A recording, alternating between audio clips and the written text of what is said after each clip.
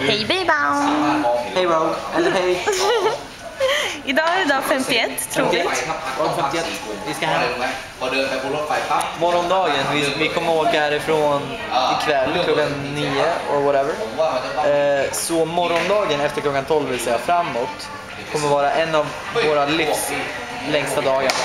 Vi kommer ju som sagt eh, att eh, färdas sex tidszoner och då går vi tillbaka i tiden.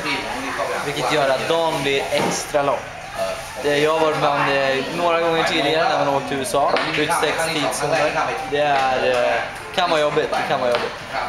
Utöver det så hoppas vi på att vädret, det dåliga vädret som har varit här i stan eh, hela dagen idag inte kommer påverka vårt flyg, eller vår buss eller våran promenad bort till busshållplatsen. Vi hoppas på att allting kommer gå problemfritt med packningen och att eh, ja, vi överhuvudtaget tar oss dit i X stycken hem till Sverige.